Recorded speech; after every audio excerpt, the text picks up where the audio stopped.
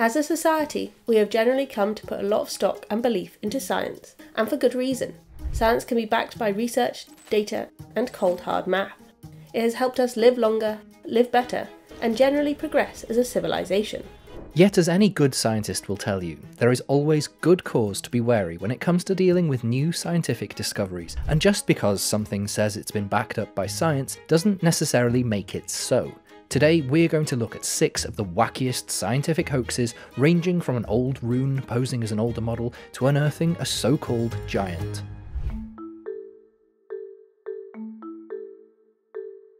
The discovery of the Archaeoraptor was heralded as the missing evolutionary link that proved that modern birds evolved from dinosaurs. It was thought to change how we understood evolution, except it was all fake. After a public outcry by the scientific community members, National Geographic conducted an investigation that revealed that the Archaeoraptor fossil was essentially two separate fossils glued together. It was smuggled out of China and into the US, where it sold on the commercial market for 80,000 US dollars at the time. Regrettably, National Geographic had presented for the first time a scientific name for a proposed new species before publication in a peer reviewed journal. The story goes that in 1997, an unnamed farmer hacked out a thin, buff coloured slab measuring roughly a foot square while digging in a shale pit in China's northeastern Liaoning province. Upon their first discovery, the farmer found a fossil specimen described as extraordinary, as it contained the fossilised bones of what seemed to be a bird, including a faint aura of feathers and a beak lined with tiny teeth.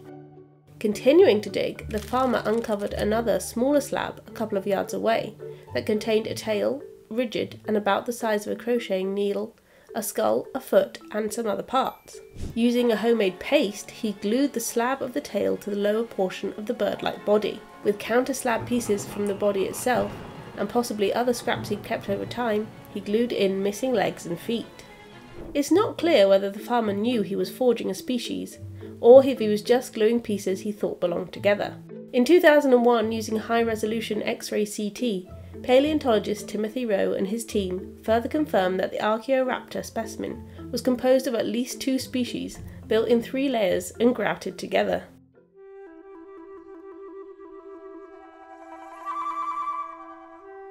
In the 1970s and 80s, a group of people living in the jungles of Mindanao Island in the Philippines caught the attention of both the media and anthropologists. The first time was for their discovery, and the second, for alleged fraud. Reports claimed that 26 people were living in caves, wearing little clothing, using Stone Age tools, and speaking their own distinctive language. With no contact or knowledge of the outside world, the group acted as hunter gatherers, unaware of how to farm on their own. It was reported as a huge discovery, and the tribe were written about worldwide. National Geographic produced a documentary on the group. The next year, Manuel Elizalde Jr., a wealthy politician who also happened to have led the discovery team, set up camps from which the Tasaday could be observed. Politicians, celebrities, and journalists were allowed to visit the camp to watch the Tasaday go about their Stone Age lives. But scientists, anthropologists, and social scientists were not. In 1986, a Swiss journalist who claimed to have visited the Tasaday reported that locals had told him that the group was a hoax a mixed group of Manobos and Tibolis, motivated by promises of land and money to act the part of cave dwelling, stone tool using primitives whenever Elizalde required them to do so. Both stories, that they had been isolated for hundreds of years or that they were perpetuating a hoax, had their downsides, with the probable explanation that they were a group that had been almost completely isolated from the rest of the world. But not for as long as was made out by Elizalde. Evidence for this was found in the language they used, which had similarities to local languages of 150 years prior, suggesting a rough date for a potential split.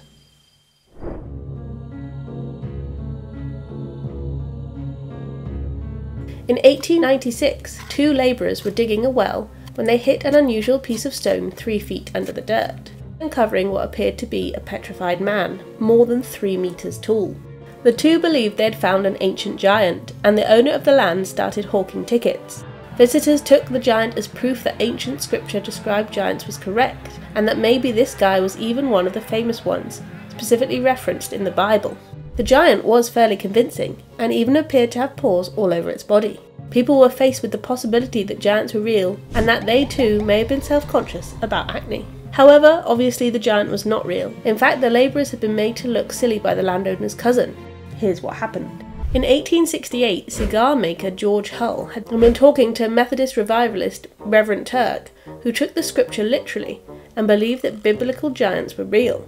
Later that night, the atheist decided that he could ridicule the view by creating a stone giant and passing it off as the real thing.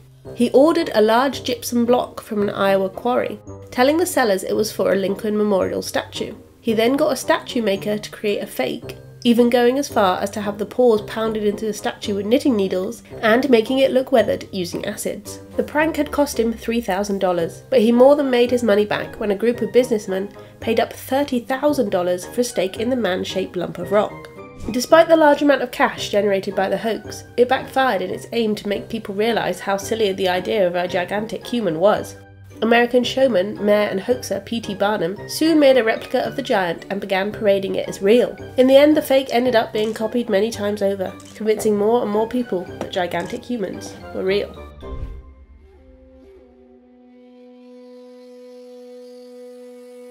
The Enjuin mummy was found in a box at the Enjuin Temple in Asakuchi, Okayama Prefecture, Japan. A note left with the unusual object claimed that it was a mermaid caught in a net off of the sea off of Tosa in the Genbun era, 1736 to 1741 Common Era. Though, of course, it isn't a mermaid, people had wondered for years what it actually was, so scientists from the Kurashiki University of Science and the Arts have tested to find out what it really is. The team found that it was, at least in part, animal. The lower half was a mesh of dorsal, anal, and pelvic fins, the fin bones that support the fins, and the caudal skeletal, while pufferfish skin was used to cover the arms, shoulders, neck, and cheeks. The scales date back to the late 1800s. The hair, meanwhile, came from a mammal, while animal keratin was used for the nails. The team then found that the upper body was made of paper and cloth, as well as cotton padding and a substance a bit like plaster. Previous studies have looked at similar animals, including one mermaid that turned out to be a fish that was attached to a wire and wool torso, with human hair for a finishing touch. Perhaps the most famous mermaid hoax was the Fiji mermaid, put on display by P.T. Barnum.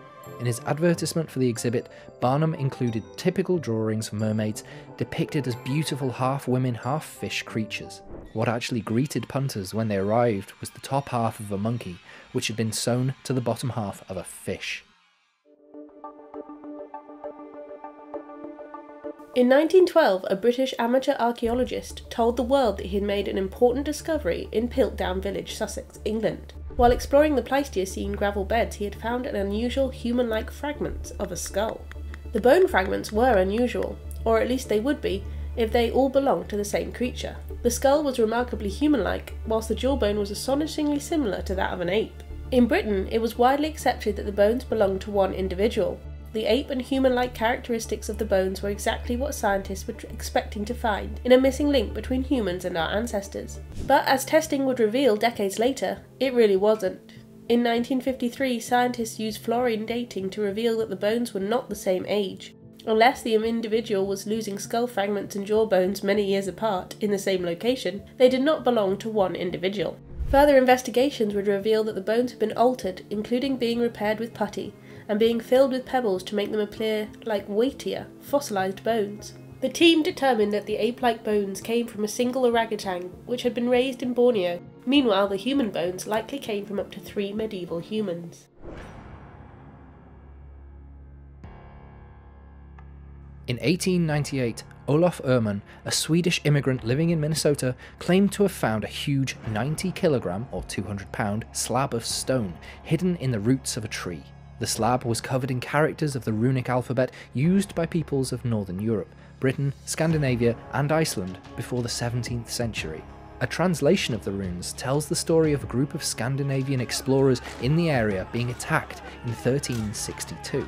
It read, Eight Geats and 22 Norwegians on an exploration journey from Vinland to the west. We had camp by two skerries, one day's journey north from this stone. We were out to fish one day. After we came home, we found ten men red of blood and dead. Ave Virgo Maria save us from evil.